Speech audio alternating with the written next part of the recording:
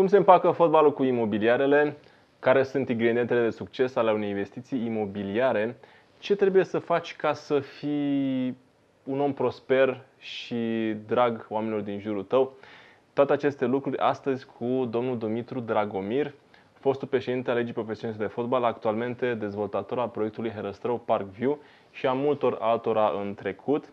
Un om extraordinar a cărui uh, viață a fost de acord să și-o expună astăzi în câteva pastile faine și uh, cu esență tare, astfel încât cu toții să luăm din cunoștințele lui și să le aplicăm mai devreme sau mai târziu, dacă dorim, în viața noastră. Stați până la capăt, deși este un pic lung acest uh, podcast, pentru că um, chiar e foarte fain, mai ales finalul, concluziile domnului Dragomir uh, și merită, chiar merită. Haideți să vedem. Domnul Dragomir, mă bucur tare că sunt aici cu dumneavoastră, că uh, de mulți ani v-am urmărit cu experiențe pe care le-ați avut atât în imobiliare mai nou, cât și în trecut în fotbal. Sunt unul dintre copii atunci care s-au uitat la România-Argentina în 1994 și știu că la scurt timp ați început să fiți foarte activ și în, mai, mai, mai public activ, că era și dinainte în, în fotbal. Dar motivul pentru care ne vedem astăzi și vorbim este pentru că aveți o nouă pasiune de ceva ani pe care o exprimați în imobiliare și dezvoltați niște proiecte de foarte bună calitate. Știm cu toții și lumea știe că dezvoltați un proiect premium în Herăstrău se numește Herăstrău Parkview și cred că ar fi interesant ca oamenii să vadă și povestea din spate. Așa că o să vă întreb pentru început, uh, cum ați ajuns, cum ați făcut trecerea ca pasiune, ca motivație de la fotbal către imobiliare? Cred că e o poveste interesantă. Nu știu cât timp aveți așa, dar... Uh, Oricât aveți nevoie. Pasiunea, pasiunea, pasiunea pentru construcții o am pentru că n-am reușit uh, din prima la facultate și nevastă mea m-a trimis uh, Uh, ea terminase institutul pedagogic și uh, m-a trimis să, să învăț carte și m-am dus la o școală tehnică de asta, pozițială, de construcții hidrotehnice și am făcut, uh, uh, am terminat școala și pot să spun că m-a ajutat foarte mult. Pasiunea Uh, pentru construcție o am de tânăr, pentru că în momentul când eram fotbalist, eu eram și uh, șef de lot pe un șantier, lucram pe un șantier și acolo am învățat ceva uh, meserie și am prins drag de ea. Iar uh, în momentul când m-au dat afară de la Liga Profesionistă de Fotbal, pentru că în fotbal am stat 40 de ani, 40 de ani am fost numai președinte. Deci rețineți, 40 de ani președinte, 20 de Uh, de, de club, uh, un an și ceva vicepreședinte și aproape 20 de ani, 19 ani uh, președintele Ligii Profesioniste de Fotbal și primul vicepreședinte al Federației Române de, de Fotbal. Dar m-au curățat, m-au dat afară și atunci ce să fac? Eu sunt un tip activ așa și i-am spus fiului meu, hai mă să ne apucăm de construcții, că la asta mă pricep, că la altceva nu, în afară așa. de fotbal și construcții nu știu nimic. Așa, mai știu istorie, că am citit foarte mult, uh, multă istorie. Și prima dată am făcut 16 uh, vile în uh, Pipera, niște vile foarte frumoase unde pe o stradă închisă așa, dați seama că e o teren, primul lucru asta e, să alegi locul bun, că locul vinde. Am da. senzația că aveți un miros pentru asta. Da, da, da, da. Am vândut uh, cele 16 vile, am mai făcut alte vile, după aceea am făcut uh, blocuri uh, prin Sebastian, un, un bloc. Acum am terminat unul în Pipera de câteva luni, s-a vândut în două luni. Pentru că eu sunt unul din foarte buni dezvoltatori din acest oraș. Eu știu, cred că nu face aproape nimeni calitatea pe care o fac eu în, în construcții. Și ușor, ușor, după ce am făcut primul bloc, am prins drag de asta și am umblat după locuri bune, locuri, pentru că locul vinde. Și acum, uh, aici la Herăstrău, uh, am găsit un loc absolut demențial, la 200 de metri de Herăstrău, ceva care nu te întâlnești decât poate o dată în viață cu uh, așa ceva. Și 2000 de, de metri de, de teren și am făcut uh, 72 de apartamente și 90 și ceva de 90 de locuri de parcare, dar uh, un bloc uh, cum uh, nu cred că sunt două în București. Bloc cu fațadă ventilată, Deprizat că e ventilată Cu- integral. Pe Cum? toate părțile, ventilată integral, pentru că sunt puține ventilate. Da, sigur că da. Da. Absolut tot. Uh, finisaje de cea mai înaltă clasă posibilă. Uh, este singurul bloc din uh, București cu pălărie. Uh, vă dați seama, este o nebunie. mă. E inspirat cumva de la pălăriile pe care le purtați pe Da, da, da. șantier într-o Da, vreme. da, da. Foarte Mi-a tare. zis un arhitect odată, domnule, dumneata, câte pălării ai? Și a spus, domnule, cred că am vreo 45 de pălării. Câte? 45. Ai pasiune de pălărie? Hai, domnule, să facem un bloc cu, cu o pălărie, domnule. Cum e? Păi punem o pălărie. Foarte da. tare. E, e un bloc absolut extraordinar. Absolut extraordinar. Și zona, ce faci un, un minut pe jos până în parc. Da. Testat și de mine, da. Da, Dacă e- ești un pic alert, da, dacă mergi mai încet, cam două minute. Da. Oricum e foarte bine, da. da. e foarte bine. Deci la 200 de metri, vă dați seama. ce- Da, E, e exact. o nebunie. Foarte tare. Da. E, e un lucru care nouă ne-a plăcut încă din primele zile când am început să lucrăm împreună, când echipa de vânzări s-a mutat la proiect. Faptul că v-a văzut în fiecare zi, în fiecare dimineață, la, din ce știu eu, la 8 jumate fix, dar dacă e altfel să-mi spuneți, uh, cum sunteți pe șantier, super punctual și verificând tot ce se întâmplă de la numărul de muncitori, la ce materiale sunt și așa mai departe. O cărămidă, dacă intră în, în șantier, știu de ea. O, A- o, asta- o, o tonă de, de fier sau... Uh, o, nu există ceva. Uh, fin- de la finisaje, de la... Uh, tot, tot, tot, uși, parchet, tot, tot, tot trece prin mâna mea. Nu există să nu... Eu uh, văd tot, eu uh, negociez uh, orice Da, preț, sânge, da? orice preț și de vânzări nu mă ocup eu. Da, cum a, cum a Deci, la vânzare n-am nicio treabă eu. Sunt uh, alții care... E, e bine că noi o preluăm și o preluăm foarte bine făcută, deci ne faceți munca un pic mai ușoară. Dar cum totuși reușiți uh, să țineți fluxul ăsta în fiecare zi? Pentru că eu știu că în orice proiect de succes, cheia nu stă neapărat în viziunea uh, inițială, ci mai mult în munca efectivă, perseverentă în fiecare zi. Dom'le, Cum o, dacă reți, alegi cum o oameni țineți? buni, Cum dom'le, reușiți? Oamenii, domnule. Omul sfințește locul. domnule. Dom'le, dacă lu- lucrezi cu niște lepre, nu faci niciodată uh, uh, nimic. Dacă lucrezi cu oameni serioși și singur nu poți să faci nimic. Eu am în jurul meu 2-3 oameni cu care uh, uh, lu- lucrez. De fapt, efectiv lucrez cu doi oameni. Bine că ai, trebuie să an- ai angajat șef de șantier, diriginte de șantier, diriginte pe fiecare uh, electrice, pe sanitare, pe, to- uh, pe toate. Plus o haită de 60-70 de muncitori zilnic uh, care Pe care îi numărați în fiecare zi, nu? da, e o, e o pasiune. Știm asta. mă duc personal și număr. S-a întâmplat vreodată să lipsească vreunul? Da, da. Și ce ați făcut? Lipsesc. Da, nu, nu le zic nimic, săraci, dar trebuie să știu. Ok. Eu să știu. Trebuie să-i ajuți când au, au nevoie.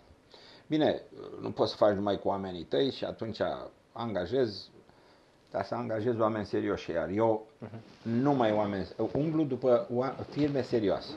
Vă implicați și la partea de detalii arhitecturale? Ați spus că sunteți pe șantier, dar vă implicați în proiect și înainte, în detaliu? Adică stați cu arhitecții să decideți compartimentările Hai de și mine, așa mai câte ore am departe, pierdut, fațada dacă, și tot? dacă aș ști câte ore am putut să pierd cu ei, sunt tineri și de, arhitecți foarte deștepți, dar uh, una e pe planșă Mhm.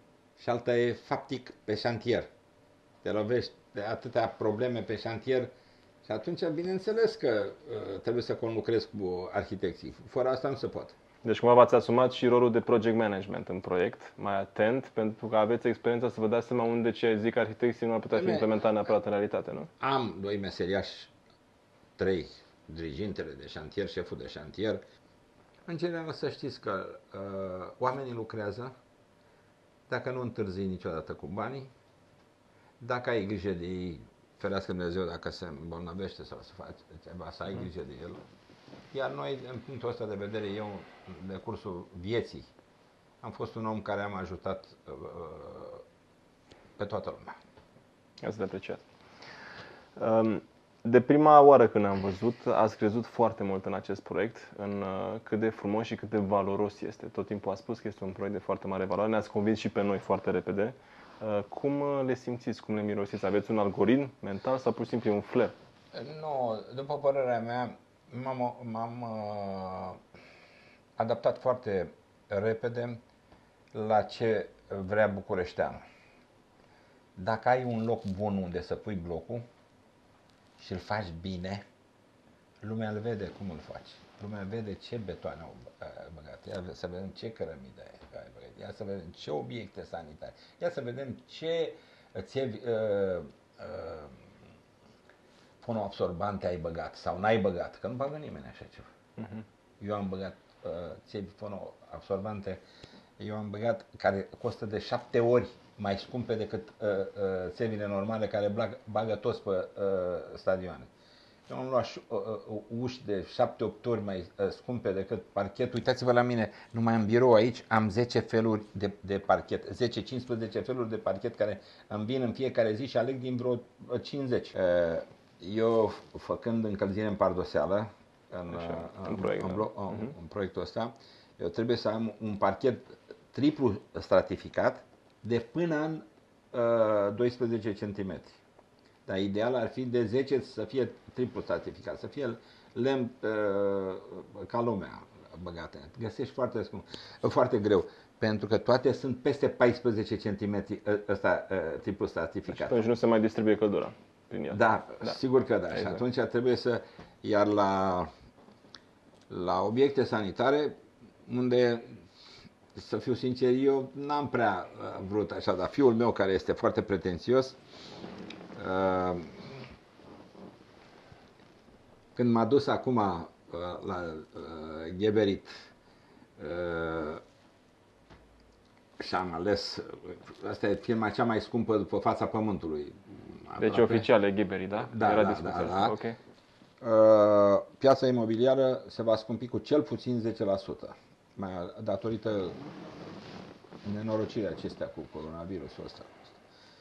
Părerea mea este că dacă uh, în România se vor înmulți cazurile de coronavirus, nu se va ține campionatul european. O să vedeți. UEFA trebuie să, să Acum e posibil să nu se mai țină deloc sau să se mute cum vrea să vor să se mute uh, Jocurile Olimpice. Olimpice, grecești. da. da. Am văzut că se liniștește, totuși, coronavirusul ăsta se liniștește. A început să liniștească în, în China, unde a fost Da. focarul cel mai mare, dar a luat amploare în Europa, în Italia. Și ferească Dumnezeu. Da, hai să nu vorbim că nu sunt specialist în asta. Eu sunt specialist Da. în construcții, nu în coronavirus. E mai ușor să uh, conduceți o companie o- de construcție, un business imobiliar sau o echipă de fotbal? E, O echipă de fotbal e greu de condus. Știu că ați trecut cumva, la început ați condus echipe de fotbal și după aia ați 20 de ani am condus, fost uh, Liga președinte de fotbal. club, cu rezultate absolut deosebite. E greu. Un, cl- un club de fotbal este foarte uh, greu. Trebuie să mulțumești pe toată lumea, să m- mulțumești suporterii și nu o să-i poți să-i mulțumești în totalitate pe toți niciodată, pentru că tot găsești câțiva cârcotași care îți, uh, pun tălpi. Mhm. Trebuie să mulțumești pe toată lumea și nu poți. Deci nu poți. Deci spuneți că e mai greu să conduceți o echipă de O fotbal echipă decât de un proiect fotbal. În imobiliar. construcție e bine. Dacă ești un om serios și nu minți partenerii, e bine. Merge bine, nu? Da, da, da.